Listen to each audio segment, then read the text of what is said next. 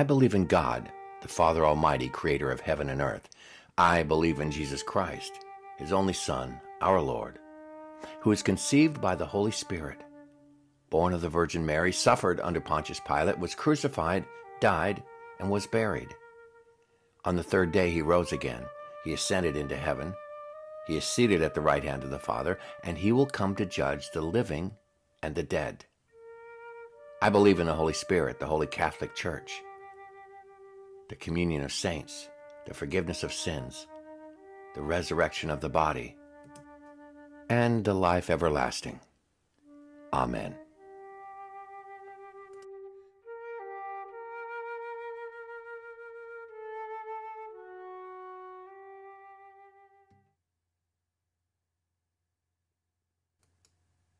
Greetings and salutations, and welcome to another fabulous day in the Lord's neighborhood and another episode of Coffee, the Bible, and Paige. I'm Paige, your caffeine imbued host. Here's my coffee. Mm. The Lord invented the coffee bean, and lo, it was declared to be very good. Today, we're going to do something a little different. Uh, instead of going to the next chapter in Numbers, um, I feel compelled just to stop here for a second today and to do some heavy duty thinking about some stuff. You know, the purpose of devotionals is for you to see what God has to say to you when you're reading the Bible. And it's appropriate that I do what I do today because God has been given God has given instructions to the Israelites about how they're to travel how they're to walk. Not only just the direction they're supposed to go, but how they're to follow him. And his direction basically involves if the cloud stays in one place, they stay in that place. When the cloud lifts and moves, they get up and follow the cloud. Sometimes they'd camp two or three days, a month, perhaps in one area. Some days it would be a day or two. But regardless, when God tells them to camp, they camp. When God tells them to move, they move. Well, God, I believe, has told me to camp today. We're not going to go to chapter 10 of Numbers yet. And here's why. I mentioned it in yesterday's devotional how um, it grieves me what Israel is getting ready to go through. You know, I've read the story, I've read the books, I've read through the Old Testament. Uh, and I've especially read through this part of the story that's coming up. And I always used to have a, a it used to be a point of malicious pride, I think is what I would call it. I'd look at what Israel's response to God was and just shake my head. Those poor disobedient Israelites. Don't they know how great God is, etc., etc., etc. God showed them all the signs and wonders in Egypt when Moses had the showdown with the Pharaoh and his music and his magicians. Almost said musicians, magicians, different kind of magic. Um, and I saw what happened when Moses took them out of Egypt, took them to the Red Sea. Pharaoh and his army coming down on him. God stands between Pharaoh and his army and, and Israel. And Moses raised his staff, and Israel saw the Red Sea part and they walked across on dry land. Then they saw the Red Sea fall down and onto the army of the Pharaoh, destroying the Pharaoh's army. They made it to Mount Sinai, where they heard the voice of God speak to them audibly. They saw God manifest himself. And yet, while Moses was up talking to God and getting the Ten Commandments written on tablets, Israel produced a golden calf and said, This is the God that took us out of Egypt. They went back to their old ways. Moses comes down, of course, takes care of that situation, and and then we start seeing a cycle presenting itself. God manifests himself in powerful ways. And for a moment, Israel is obedient and compliant. Not long later, Israel starts rebelling And we're going to see that time and time again as Israel journeys to the promised land. And so, knowing that ahead of time, when I read yesterday's uh, scripture that talks about uh, them being obedient to God in the beginning here as they're getting ready to march, I grieved because I know what's coming. And, but the part that hit me hard was the realization that Israel is a perfect picture of Paige. I'm not going to point any fingers at anybody else here, pointing them at me. Israel, for whatever reason, could never shake loose of their desire to go back to the old ways of doing things. We're going to find out when they complained about manna. And they said, Whoa, I wish we were back in Egypt where we had onions and leeks and blah, blah, blah, blah, blah. At least we were fed there. And they were tired of manna, and that's what they wanted. Um, and when they get into the promised land, we know that they're going to demand that God give them a king, just like everybody else. God didn't want to give them a king, but He gave them a king. He gave them what they wanted. And they got Saul. And I'm telling you, Saul was no treasure. And they just, you just, you're going to see the cycle. Well, I see that cycle in me.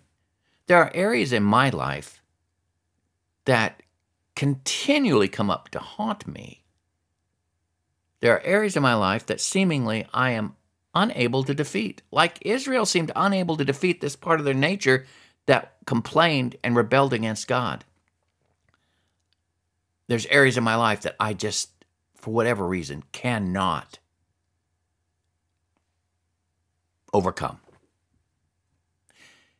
And there, and I was so hit by this picture, the fact that Israel is a perfect picture of Paige as an analogy. Um, I grieved. And I so identified more with Paul when he says in Romans, Oh, who shall save me from this body of death? He said, I know what I should do, and I don't do that. I know what I shouldn't do, and I always do that. Who shall save me from this body of death? And sometimes, in this past couple days especially, it's like I've been so overwhelmed with my incredible lack of ability to overcome areas in my life It's like I get frozen in place. And it's not even easy to pray anymore. It's kind of like I don't want to read the Bible because I'm guilty of being Paige. Some people have called that uh, the paralysis of analysis, where you analyze something and you get so overwhelmed by what you find that you can't even move forward. When I was growing up in Alaska, I used to make my brag about what do I do if I encountered a brown bear in the woods. Well, there came a time when I encountered a brown bear. And you know what? I was frozen in my tracks. The brown bear is the apex predator. Paige ain't the apex predator. If that bear had wanted a meal called Paige, he could have had me. I was frozen in place by fear and by all that I knew about the brown bear. And I realized I was not capable of defeating that brown bear. No, I was frozen in place. And there's sometimes when I look at my life, and I, I, God has done great things in my life. I, like Israel, I have these signpost moments along my life where God showed up in extraordinary and powerful ways, and I rejoiced. And I can look back at those times and and I realize that God is with me. But then I look at certain areas of my life that don't change for whatever reason. And I'll sometimes I'll be so overwhelmed by that, and that, this happened this last couple days. So overwhelmed with it that I was frozen. No original thoughts in my mind for prayers. And so today's devotional is kind of like dealing with that. What do you do when you don't know what to do? What do you pray when you don't know what to pray? What do you say when there are no words? I get tired of telling God, God, I'm sorry again for knowing that tomorrow I'm going to be saying, God, I'm sorry again for. It hurts and it shames me. So, what do I do when I don't know what to do? Well, when I was getting my master's degree in music composition, my master's thesis was on that topic. What do you do when you don't know what to do when it comes to composing music? And I came up with a process that I use to get the inspirational juices flowing for composing. And I'm to the point now where I can sit down and I can start, even when I'm not inspired to do anything, I can start. And before long, I'm back in the groove and I'm writing, composing. It happens every time now. I'm not afraid of that blank piece of paper, music paper in front of me anymore. And sometimes it's an adventure when I don't know what music is going to come out of me. But I, I, I learned what to do when I don't know what to do as a musician. But as a Christian, what do I do when I don't know what to do? What do I pray when I don't know what to pray? What do I say when I don't know what to say? I'm going to share that with you. And it comes from uh, my observations and studies of, of an ancient Christian um, custom called the Mass. Now, back in the fifth, sixth century, there was only one church. Now we call it the Catholic, the Roman Catholic Church, but there was just church. There wasn't a division between Protestantism and Catholicism. And the church came up with something called the Mass. And there was the ordinary of the Mass and the proper. The ordinary of the Mass is the part of the Mass that is sang or spoken every time the church would meet together for worship. The proper of the Mass would be the portion of the service that would be customized to whatever holiday season that they were in. So, but, but no matter when you went to church, what part season you were in, what holiday was being uh, celebrated in the church, there was still the ordinary of the Mass. And in my studies of that, I discovered my secret for what do I do when I don't know what to do. And I will read these sections of the ordinary of the Mass. And as I become more and more familiar with them, I'm starting to memorize them. Uh, that becomes my prayer. When I don't know what to pray, when I don't know what to say, this brings peace. Because the ordinary of the Mass contains all the elements that we believers need to remind ourselves of. That's contained in the truth that God has implanted in us. So, what I'm going to do today is I'm going to read through the text of the ordinary of the Mass. And it's split up into sections. And uh, I think it would behoove you to go and look for the text from the ordinary of the Mass and read for yourself these things. Perhaps print them out. Perhaps have them available when you're overwhelmed. Now, my Protestant friends, brothers and sisters, if you feel you have an axe to grind with the Catholics, get off your high horse. This isn't Catholic dogma. This is truth. And please remember that the Catholic Church is where we came from. Now, I'm not a Catholic, and I do have issues with Catholic theology. That's why I'm not a Catholic but I will not belittle them. I will not get on my little Protestant high horse and wag my finger at them. There is much truth to be found in the ordinary of the Mass. And I don't care what your faith tradition is. This would behoove you to read this stuff. So, what do I do? when I'm overwhelmed, and what have I done this last couple days? When I'm overwhelmed with just the enormity of my sin and my inability to be anything other than what I see happening with Israel, here's what I do. Let's take a look at it. It starts off with the Kyrie. And it's a simple little prayer. It's a prayer of the penitent. Lord have mercy. Christ have mercy. Lord have mercy. There it is. Sometimes, when I'm tired of asking for forgiveness, what I really need is mercy. God, please give me mercy. I'm, please, Lord, have mercy. Christ, have mercy. That's easy to memorize. And I say that prayer a lot. Then the following on the heels of the Kyrie is something called the Gloria. Now, the Gloria is worship. Glory be to God in the highest, on earth peace and to men of good will. We praise thee, we bless thee, we worship thee, we glorify thee. Now, I'm going to turn this into personal. Glory be to God in the highest, and in earth peace to men of good will. I praise thee, I bless thee, I worship thee, I glorify thee, I give thanks to thee for thy great glory. My sinful condition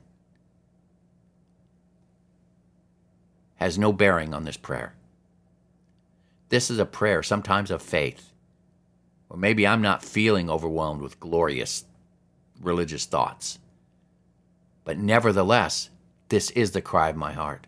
I praise you, I bless you, I worship thee, I glorify thee, I give thanks to thee for thy great glory.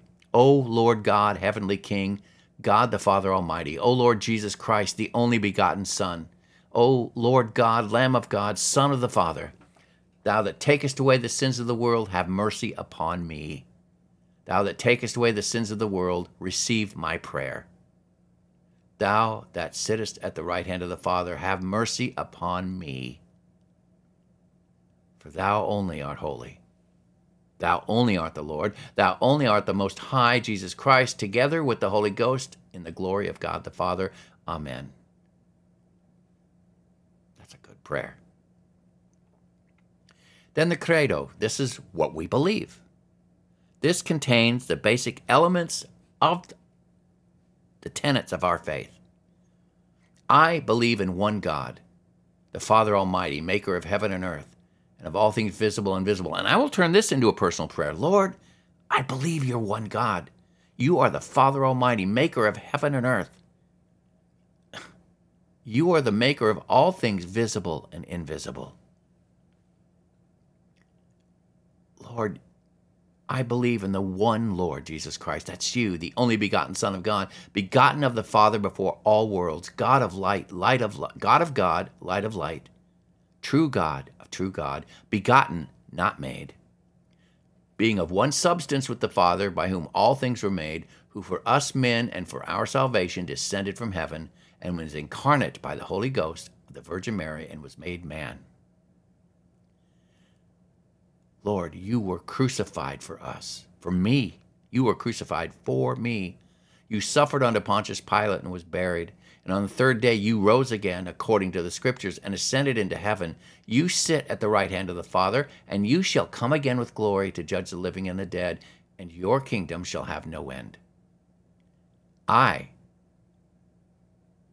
believe in the Holy Ghost, the Lord and giver of life who proceedeth from the Father and the Son, who with the Father and the Son together is worshipped and glorified as it was told by the prophets. And I believe in one holy Catholic and apostolic church. That's not the denomination. Catholic just means universal. I acknowledge one baptism for the remission of sins, and I await the resurrection of the dead and the life of the world to come. Amen. everything you need to know that summarizes this, what we need to know about God and the scriptures is contained in the credo. That means that's our creed. It's what we believe. Then there's a sanctus. Holy, holy, holy Lord God of hosts. Heaven and earth are full of your glory. Hosanna in the highest. It's not hard to memorize, is it? Holy, holy, holy Lord God of hosts. Heaven and earth are full of your glory. Hosanna in the highest. And Agnus Dei, Lamb of God, That's what it means. Agnus Dei. Lamb, Dei, God.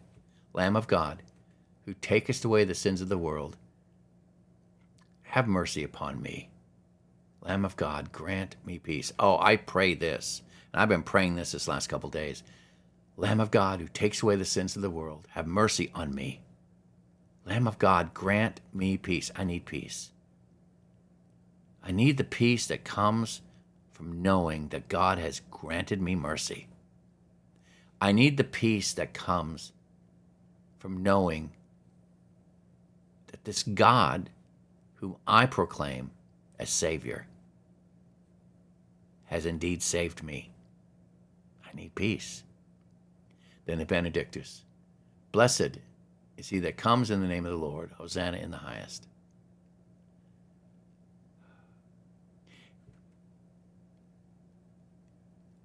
I personalize this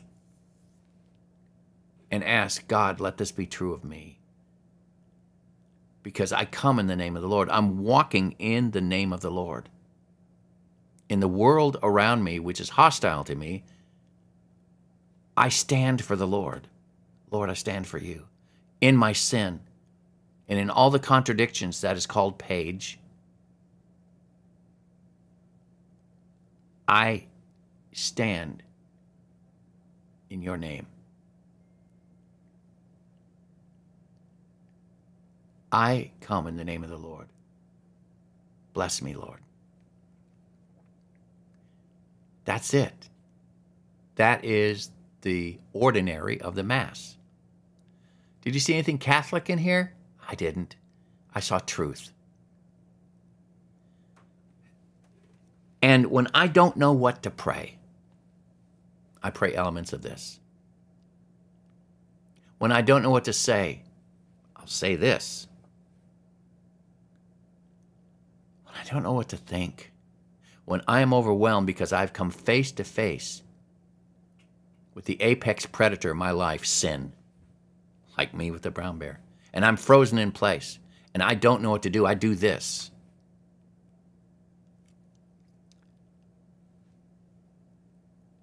Again, the purpose of a devotional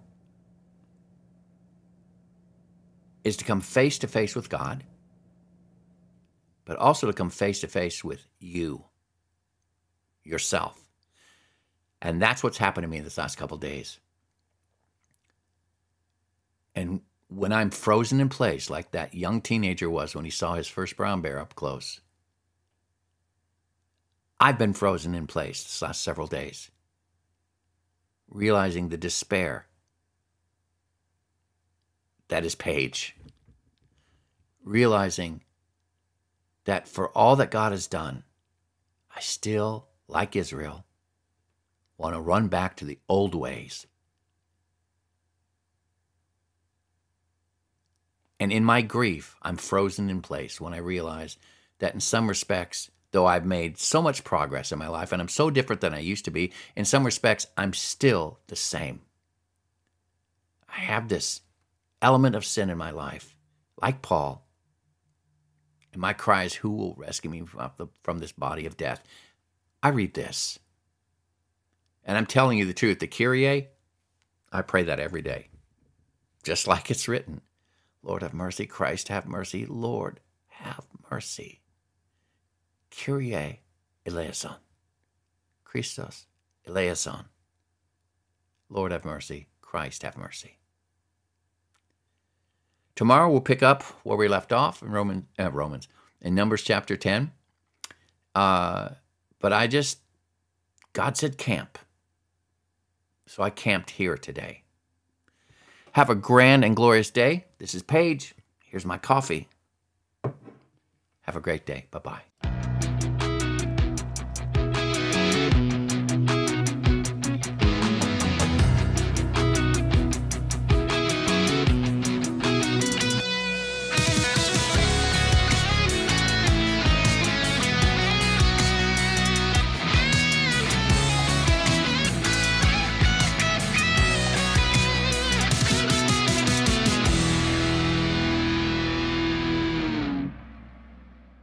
God's thoughts are not our thoughts.